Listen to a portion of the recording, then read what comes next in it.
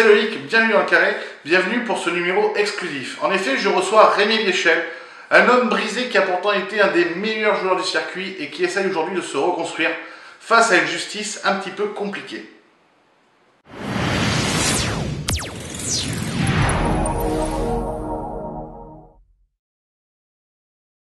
Rémi Biéchel, bonjour. Salut. Loïc, attends, mais on va la refaire.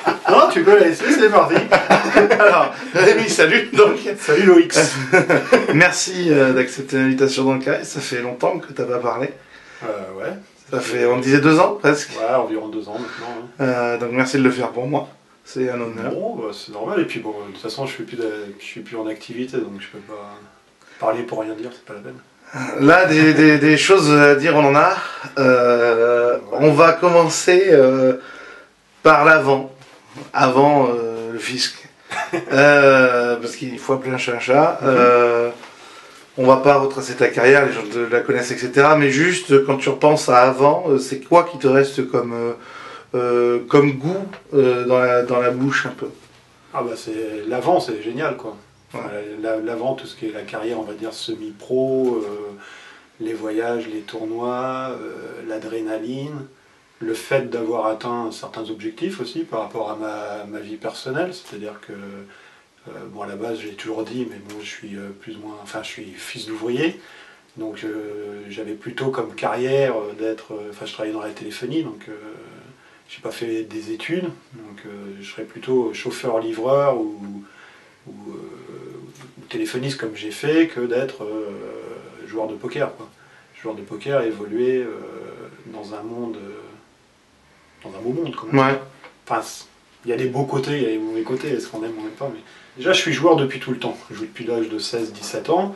J'ai eu la chance de jouer, bon, j'ai joué au poker fermé, au tarot, au rami, j'ai toujours aimé jouer, et j'ai eu le- la, la crise, on va dire, de la quarantaine, où j'ai eu l'opportunité de pouvoir me lancer dans le poker. Après, moi, je suis un peu dans les extrêmes, c'est-à-dire que j'avais envie d'atteindre des, des- des bonnes choses et voir des bonnes choses. Ne serait-ce que quand j'ai commencé, je m'étais dit, dans trois ans, j'aimerais aller à Las Vegas, parce que j'ai joué à tous les jeux en général, et j'avais jamais été à Las Vegas. Et je me suis dit, quand je me suis lancé dans le poker, je me suis dit, dans trois ans, tiens, euh, j'aimerais au moins aller à Vegas et faire le main event des World Series of Poker, pour aller faire les championnats du monde, qui pour moi était, euh, euh, ma- ouais, qui était génial. Donc peu importe de la manière que j'irais, euh, en ayant perdu, en travaillant, pour me payer le buying, mais juste pour le faire. quoi. Et j'ai eu la chance de pouvoir le faire deux ans après. Donc bah, bien évidemment, après j'ai été connu, j'ai été sponsor, donc tout ça, bon, c'est vrai que c'est assez génial quand on a une passion et puis qu'on arrive à, à en vivre et à atteindre certains sommets de la passion, c'est juste, euh, bah, c'est juste génial. Quoi.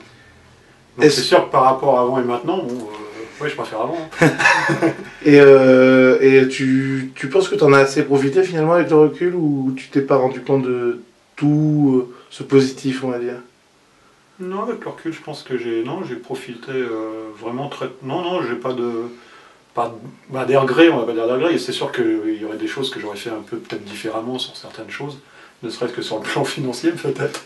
Ça m'éviterait d'être dans un état comme ça. Euh, Je, serais un peu plus conservateur peut-être dans certains cas.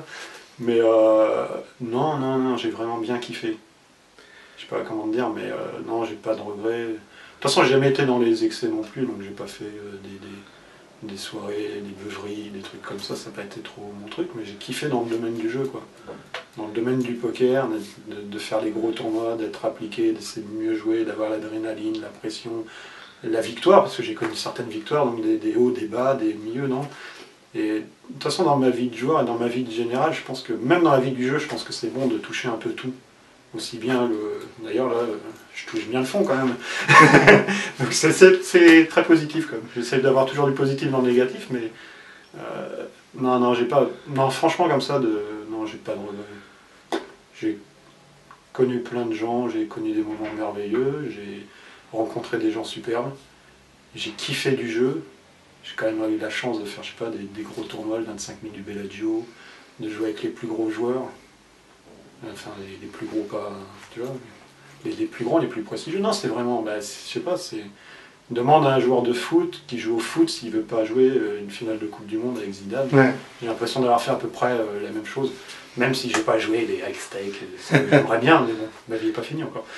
Justement, tu, euh, je, bon, on- les gens savent que je suis assez proche de Guillaume Darcourt, Ouais. qui est aussi un très bon pote à toi. Ouais, ouais. Euh, Guillaume, un jour, m'a dit quelque chose. Il m'a dit. euh, il- il- Guillaume me disait si un jour tu arrives à interviewer Rémi, euh, faut que tu lui euh, parles d'un fameux euh, Deauville-Paris euh, Ah, en voiture avec sa Ferrari. euh, avec sa Ferrari, Ouais. où euh, pendant euh, plusieurs. euh, le temps du voyage, en tout cas, il t'a prévenu à de, à de longues reprises.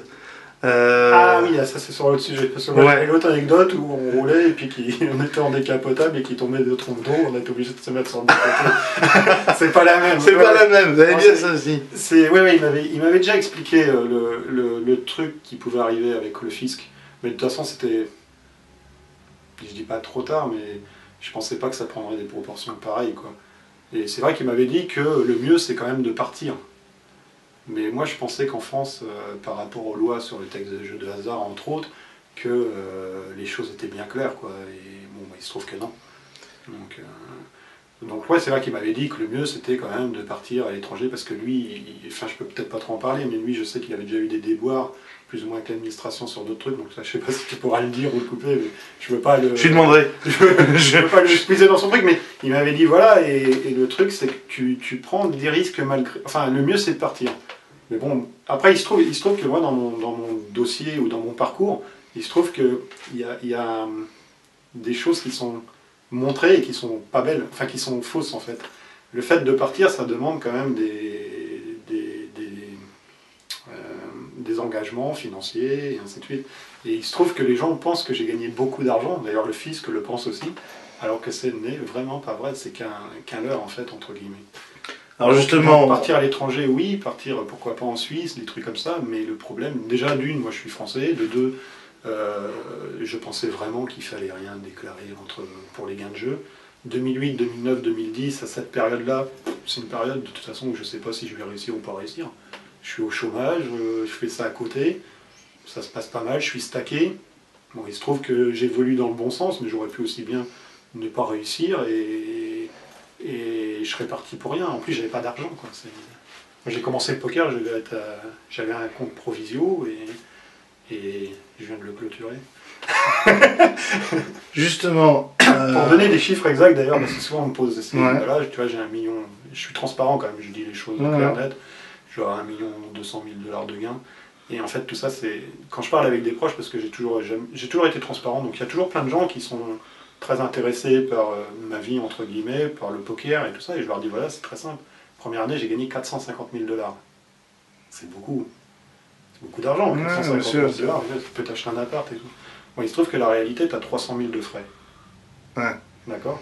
Tu fais euh, Vegas, à droite, à gauche, tu vis bien. Bon, vu que les frais sont encore plus hauts, donc c'est vrai que j'ai bien profité de la. Enfin, bien profité de la. Pas de la situation, mais de, de- de cette vie-là où Mhm. j'ai été dans les bons hôtels, où j'ai voyagé. Donc c'est sûr que c'est mieux que d'aller au bureau avec ta bagnole à 9h du matin dans les embouteillages où ton patron il va te dire à 5h30 euh, écoute, euh, t'as pas tout à fait fini, il faut aller à l'autre bout de Paris. Bon, c'est, t'es dans un bon cadre, mais il reste 150 000 dollars. À l'époque, t'es stacké. D'accord? Donc, euh, Sur la globalité, tu touches 33% de retour, tu touches 50 000 dollars. D'accord? Le dollar à 1,45, tu ramènes 100 euros, 33 000 euros. C'est beaucoup d'argent quand même, c'est bien, c'est bon salaire. hein. mais c'est pas Dehors, 450 000 dehors, dollars. C'est plus 450 000, donc il reste 33 000 euros sur les 450 000.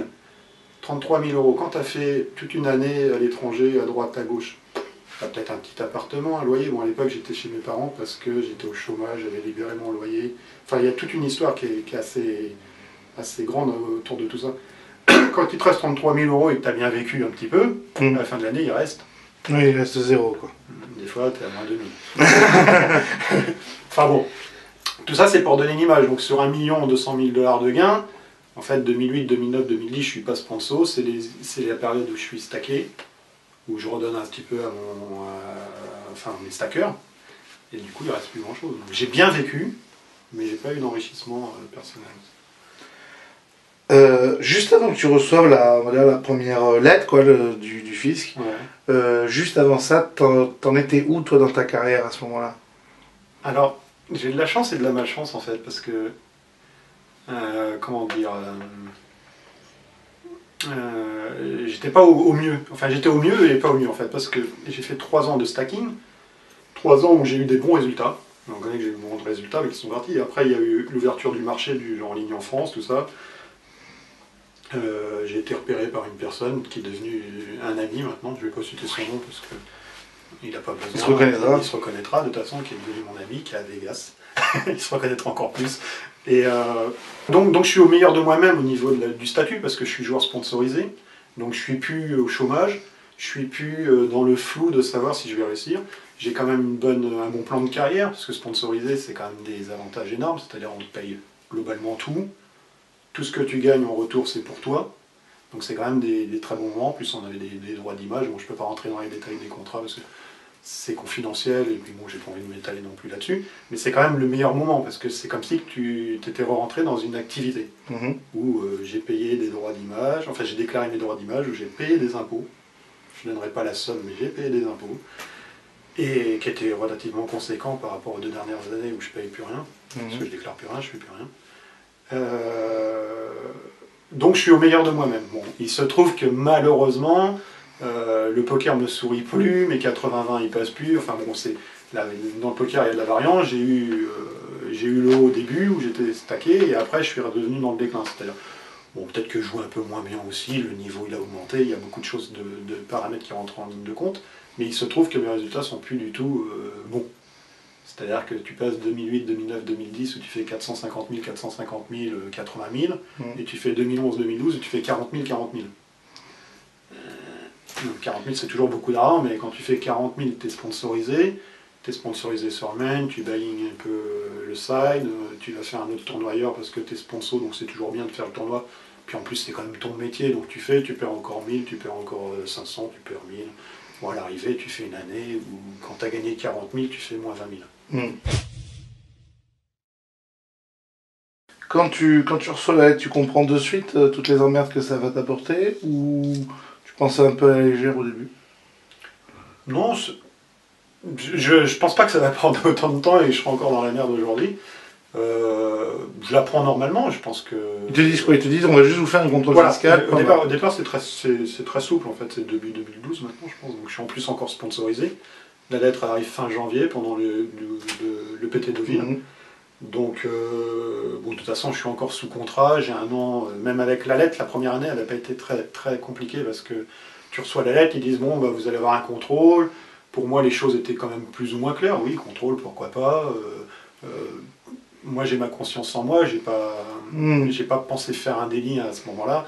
Donc, je dis oui, pas de problème, on va répondre. J'ai pris un avocat quand même parce que il y en avait d'autres qui avaient déjà eu des contrôles et on m'avait signalé d'avoir un avocat.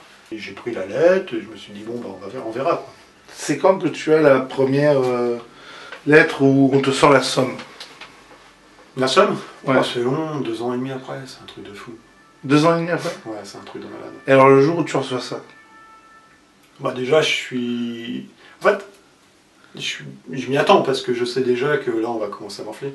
Disons que dans ma défense, dans ma défense, il y avait...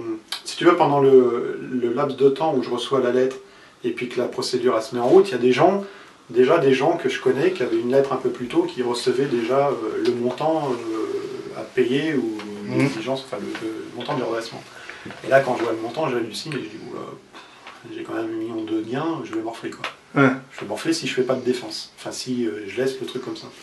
Donc je prends mon avocat et je dis, bon bah écoute, on va, on va- enfin écoute, je, je la tutoie quand même. Je dis, enfin, je dis, écoutez, on va, on va faire un truc. On va, moi je veux bien qu'il m'attaque, mais dans ces cas-là, je vais donner les moins. Ouais. Donc je fais une recherche de moins, un truc. euh, j'appelle les World Series, j'appelle les EPT, j'appelle les hôtels, j'appelle tout, et je récupère une- un truc énorme parce que je me suis dit si je fais rien, ils vont me demander genre 800 000. Mm. Donc 800 000 quand t'es broke en plus, parce que j'étais semi-broke déjà à l'époque. Euh, ça devenait compliqué pour moi en me disant bon, si je vais 800 000, je vais jamais pouvoir dormir. quoi. Mm. Donc je me suis dit, et puis comme je savais que mes chiffres, parce que comme je l'ai dit tout à l'heure, 450 000 dollars de gains, euh, il reste 150 000. euh, Mm. Bon, déjà, je sais que je vais, je vais descendre beaucoup l'addition. Donc je prends, je prends cette démarche-là. Donc tu as beaucoup d'échanges qui se font, et deux ans et demi, tu as la note qui tombe. Et ils te demandent? Aujourd'hui? Ouais. 208 000 euros.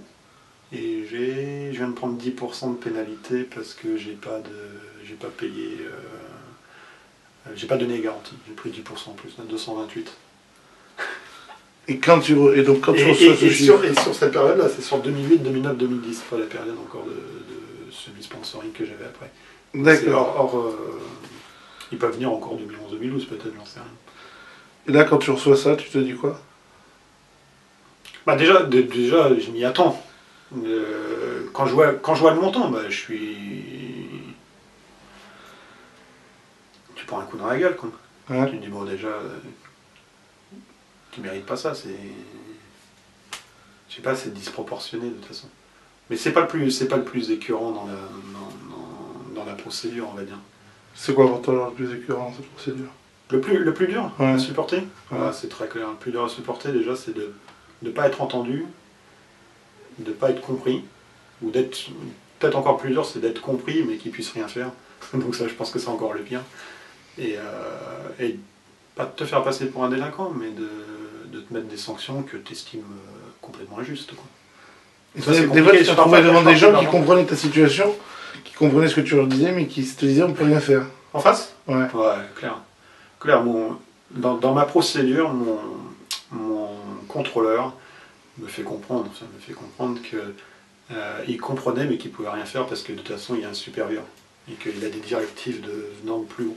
Donc lui de toute façon il maîtrise pas complètement le truc, il fait, il fait son boulot, il fait la procédure, il regroupe les informations, il prend, il, fait ce qu'il peut et à la fin il te met un montant quoi. Mais tu trouves pas le montant, en fait le montant il n'arrive pas deux ans et demi ap- après. Il arrive des gens euh, par échéance, tu as ta première sanction, tel, tel, tel truc. Après, j'ai eu affaire à son supérieur. Donc tu vas son supérieur et son supérieur il te comprend, mais il peut toujours pas faire grand chose parce qu'il a un supérieur en fait. Donc à la fin, tu vois l'interlocuteur final. Alors l'interlocuteur final, lui, il te comprend aussi. tu vois. Il te comprend, il sait que t'es pas un escroc, alors il va te le dire en plus, il sait que. euh, que, que t'as pas fait les Ouais. choses sciemment, que bon voilà, euh, mais euh, qu'ils ont mis une machine en route et que de toute façon ils peuvent pas vraiment l'arrêter. Moi par exemple mon interlocuteur final m'a dit droit dans les yeux entre guillemets monsieur on suit une doctrine. Euh, la doctrine va être bonne pour certains et mauvaise pour d'autres. Moi, vous êtes du mauvais côté en gros. Vous avez morflé mais bon on n'a pas le choix quoi. Enfin je sais pas c'est- comme ça que je l'interprète en tout Mmh. cas. Je peux pas euh, affirmer que ce qu'il m'a dit c'était ça mais enfin ça, ça veut dire ça quoi. Et ouais ça c'est dur à supporter. Et là, C'est dur. Surtout que pour moi, en aucun cas, et j'ai fait une chose sciemment, en aucun cas je mérite grosso modo cette peine-là.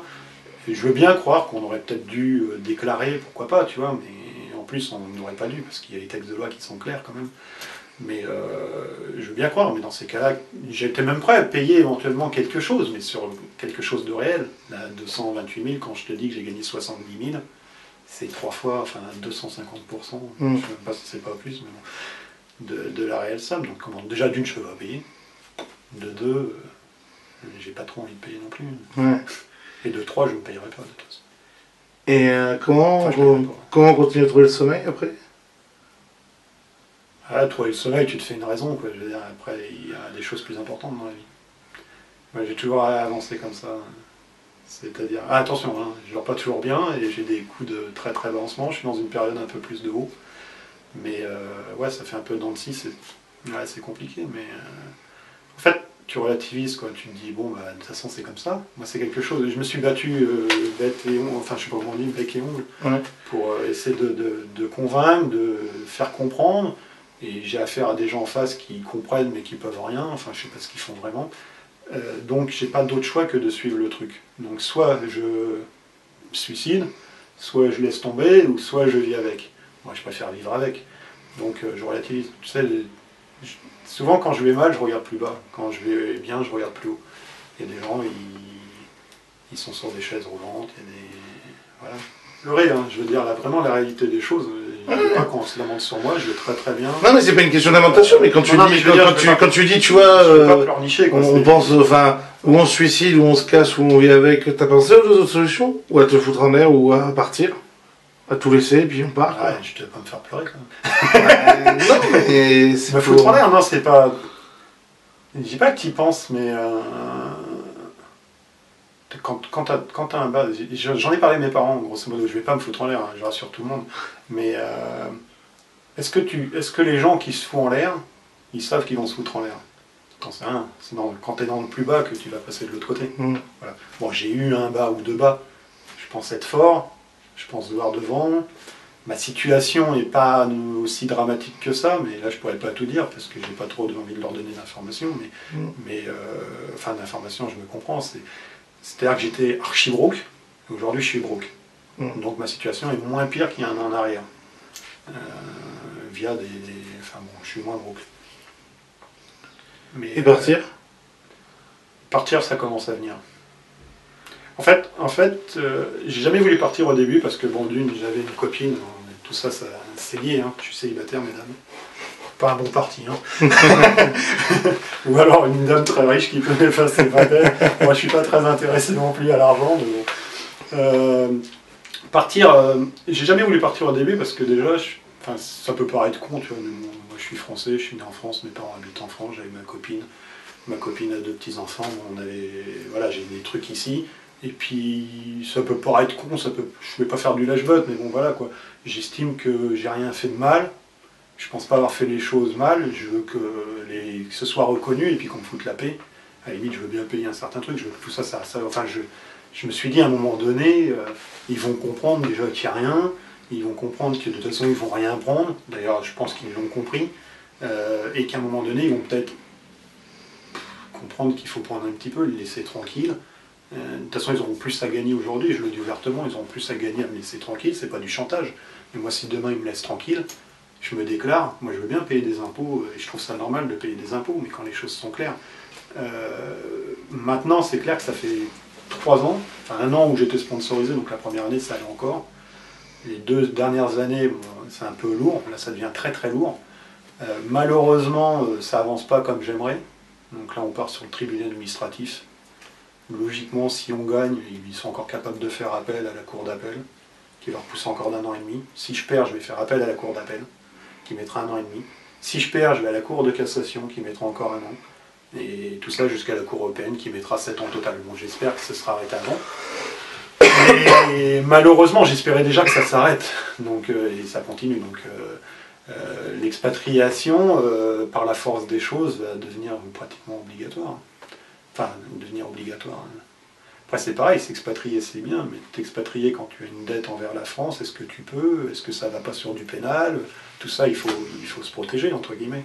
C'est vrai qu'aujourd'hui, euh, là, je ne cache pas, début d'année prochaine, je vais partir voir mon ami, parce que déjà, j'ai besoin de vacances, parce que je suis fatigué.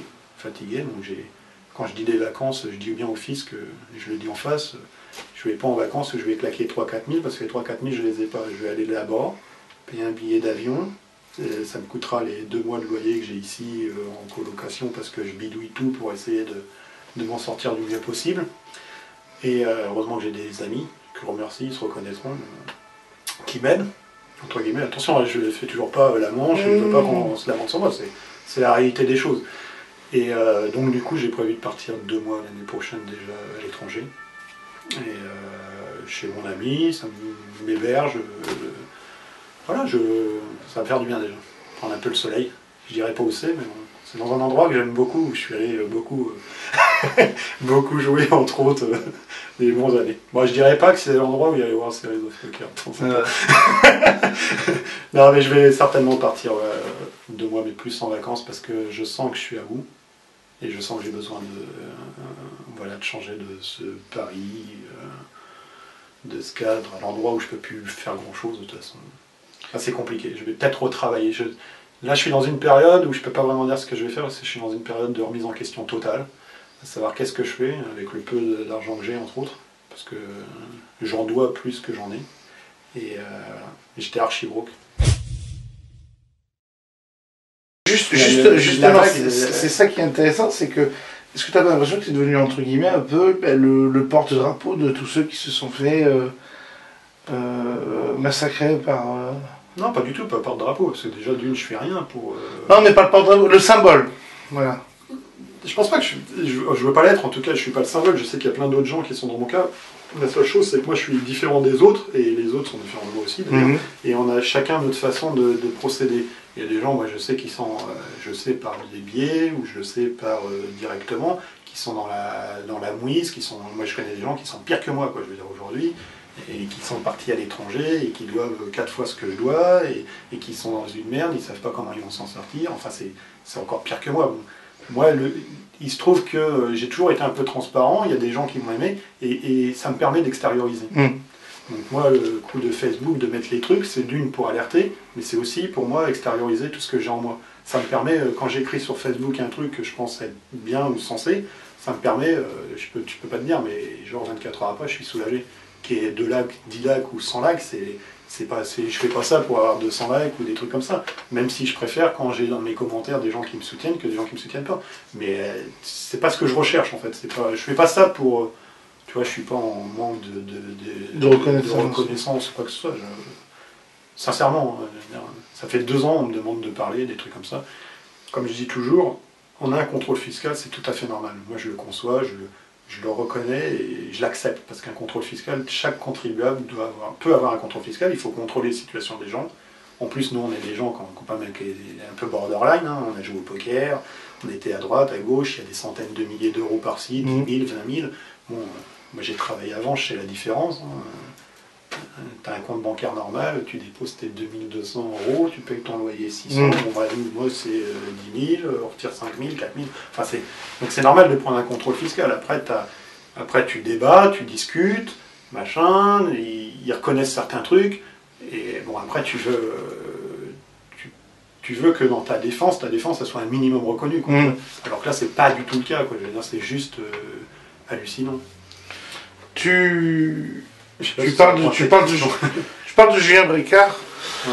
Euh, Julien, c'est pas un secret, lui, a décidé de payer. Il y en a d'autres qui ont décidé qu'ils ne. Qui ne euh, voilà, enfin. C'est normal de payer. Euh, il y en a d'autres qui ont décidé qu'ils ne paieraient pas, qu'ils iraient euh, jusqu'à la Cour européenne parce qu'ils estiment que ça ne tiendra pas devant la Cour européenne. Je pense que ça ne tiendra pas. Euh, Personnellement, alors, excuse-moi de te couper, mais personnellement, la seule chose que j'espère, et là je fais pas toujours pas le truc, j'espère juste que la justice en France soit pas à la même échelle que les- le service fiscal, le service administratif fiscal, parce que sinon on le prend dans le baba. Mais, euh, Alors toi, justement, tu penses que ça, sincèrement, ton intime conviction, si tu peux la dire aujourd'hui, Mhm. tu penses que ça va finir comment? Malheureusement, il n'y a pas grand monde qui peut le savoir. Si c'était moi, par rapport à ce que j'ai réellement fait, par rapport à mon, à mon acte, moi, d'une, s'il fait un échange vite fait, un peu d'argent pour euh, la tranquillité, je paye, même si euh, j'ai pas l'argent, mais, une somme correcte qui me convient, pas une somme qui, qui veulent eux par rapport à... Moi, je veux donner une somme qui paraît normale. Comment ça va se finir? Pour moi, il y a hors, hors vice de forme par rapport à certains trucs dans le dossier qui tient moyennement la route, euh, bon ça c'est à part, euh, je pense qu'à un moment donné, je sais pas quoi, c'est statué quoi, c'est un euro symbolique, 50-50, de toute façon on gagnera pas, Ils perdront pas. Pour pas. Non, on se perd pas l'État, il y aura un euro symbolique, on aura machin, de toute façon même si on perd, même si on gagne, on gagne rien. Quand tu gagnes, t'as zéro, tu payes rien, c'est tout, ils te remboursent tes frais d'avocat, et je connais un mec qui m'a expliqué, lui il avait eu un contrôle fiscal, il a eu 40 000 euros de frais d'avocat, ils lui ont envoyé un chèque de 2500 euros pour dire que c'était fini, qu'ils avaient gagné, enfin que l'État avait perdu et que les frais d'avocat c'était remboursement de 2500 euros. Après tu as peut-être encore des recours de les attaquer, mais quand tu as passé déjà 6 ans dans un truc, est-ce que tu vas attaquer l'État pour euh, 10 ans Et justement, le jour où ça va arriver, ça, où ça va être fini d'être jugé, Mhm. euh, tout ça pour ça, tu te diras? Ah, Le problème là-dedans c'est qu'on perd du temps. Quoi. On perd du temps, on perd de la vie. Eux, ils perdent de l'argent, enfin, ou ils en gagnent, ça dépend. Sur moi, ils vont pas en gagner, ça c'est sûr. Euh, Ouais, ce sera tout ça pour ça. Après, le problème, c'est que je pense qu'ils se sont plantés. Enfin, ça, je peux me tromper. hein, Tu sais, je vais manquer aussi d'objectivité dans, tous mes propos parce que je suis trop dans le truc. Mais euh, déjà, ils pensaient que c'était une mine d'or. Ils se rendent compte que, tu vois, quand un mec comme moi a gagné un million d'eux et aujourd'hui, je dois être à moins 24 000. Donc, euh, si tu veux, euh, ça, ça, ça tient pas la route, il n'y a rien à prendre. Des cas comme moi, il y en a plein. Euh, ils se rendent compte qu'en plus, il y en a plein qui sont à l'étranger, donc machin truc. Là, aujourd'hui, je sais qu'ils négocient avec tout le monde. Pourquoi ils négocient? S'ils sont sûrs de gagner, autant continuer. Pourquoi prendre 50 000 à un mec, euh, euh, tu en réclames 400 Mm. Alors, Hormis le fait de ne pas avoir 100 dossiers qui tombent au tribunal et d'en avoir plus que 20, c'est moins pire. Et puis quand tu récupères euh, 40 fois euh, 50 ou 100 000, c'est toujours ça le prix. Et je dis pas que c'est ça, hein. j'ai pas envie d'avoir de problème non plus avec eux, mais indirectement c'est comme ça que je ressens les choses. Voilà, donc tout ça pour ça, non, après, ce qui m'ennuie le plus là-dedans, c'est qu'on a affaire à des gens qui savent pas trop ce qu'ils font, enfin pas trop ce qu'ils font. Mm. euh, ils changent, euh, ils, ils ont changé beaucoup de, de, de- de positionnement. tu vois. Ils ont eu des positions avec moi, et puis après, 15 jours après, c'était plus bon. Au début, je voulais prendre des frais forfaitaires. Après, non. Les notes de téléphone, bah non. Euh, 80% d'activité occulte, 2% de pénalité. Après, bah non, parce que vous avez déclaré en, des droits d'image en 2008, donc on peut pas, on va vous les retirer. Euh, il y a certains cas, il y a des gens qui ont dit, bon, on va pas vous les mettre à 80, on va les mettre à 20. Puis en fait, quand tu as la, la lettre finale, bah, c'est 80 plus 25 plus 16. Tu as 121% de pénalité. Moi, je suis sur 2008, c'est 121% de pénalité. Tu as 80% d'activité occulte, 25% de majoration. Et ça, ils ne le disent jamais parce que tu n'as pas de centre de gestion agréé. En fait, quand tu as une activité, tu dois avoir un centre de gestion agréé. D'accord Mm. Si tu ne prends pas de centre de gestion agréé et que ta comptabilité n'est pas bonne, tu prends 25% de majoration en cas de redressement. Mais nous, si on est en activité occulte, si tu connais quelqu'un qui peut être en activité occulte et avoir un centre de gestion agréé, C'est compliqué. bravo, je sais pas faire. hein. Qu'est-ce que ça Plus t'a- 4% d'annuité de retard, donc sur l'année 2008, tu tombes 16% de majoration supplémentaire. D'avoir ça Est-ce que tu, je sais pas, est-ce que ça t'a coûté, euh, euh, est-ce que ça t'a coûté des amis? Est-ce que ça t'a coûté ta, est-ce que ça t'a coûté euh, euh, 10 ans dans la gueule? Est-ce que je sais pas, tu vois comment m'a- te- Ouais, alors déjà, ça m'a coûté le fait que bah, je vis plus de mon rêve. Enfin, je, je vis plus de, de mon poker. J'étais, je travaillais dans la téléphonie, j'avais une carrière possible. j'aurais pu continuer, j'aurais pu peut-être m'enrichir, j'aurais pu kiffer, j'aurais pu déclarer, payer des impôts s'ils avaient les fait les trucs un peu plus dans Mhm. l'ordre. Euh, donc ça, déjà, je l'ai pu. Donc du jour au lendemain, ça s'arrête. Donc tu retournes à l'activité normale, Mhm. ce qui va pas me chagriner plus que ça, parce que bon, je l'ai fait avant. Donc euh, j'ai fait 20 ans de vie normale, un, un temps où c'était un peu plus... C'était différent, je peux pas vous dire si c'était même mieux, c'était différent, mais c'était bien, ça m'a fait découvrir d'autres choses. Maintenant, je retourne à la normale. Le problème, c'est que dans la normale, je peux plus faire la normale, parce que si je fais la normale, je suis saisi. Donc aujourd'hui, je peux plus, je suis bloqué, peux plus gagner d'argent. Ça m'a coûté ça, ça m'a coûté beaucoup de... Tu vois, je t'en parle aujourd'hui, mais parler comme ça, j'en parle souvent. Euh, je dis pas que je fais de la dépression, mais euh, il y a des hauts, il y a des bas. Je lutte tous les jours pour, euh, je vais pas dire pour survivre, parce que je veux pas, que, je sais pas comment t'expliquer, hein, je veux pas. euh, Non, non, dire. non, non, mais je me débrouille très bien et je vais y arriver, ça c'est une certitude. Et ça m'a coûté une, une relation de couple. Parce que le problème c'est que quand t'as rien, bah, il faut que tu trouves. Et si tu fais des choses qui prennent du temps, bah, tu perds le temps que tu passes avec ta machine. Et aujourd'hui, j'ai préféré. euh, malheureusement, peut-être qu'un jour ils verront cette vidéo, mais j'ai préféré aujourd'hui, bon, de toute façon on était trop en conflit, je préfère être malheureux tout seul que d'emmener trois personnes malheureuses avec moi. Donc je préfère que les gens ils aillent s'amuser, moi je m'isole un peu plus. Donc quand tu t'isoles un peu plus, il faut faire attention. Parce que c'est encore. Il faut le gérer. Mais j'ai la capacité et j'ai encore beaucoup de, de mental. Donc euh, pour l'instant je lâche rien. Dernière question. Ouais. euh, le, le jour où tu arrêteras définitivement le poker, Mhm. vraiment, euh, tu auras envie qu'on retienne quoi de toi en tant qu'homme et de toi en tant que joueur?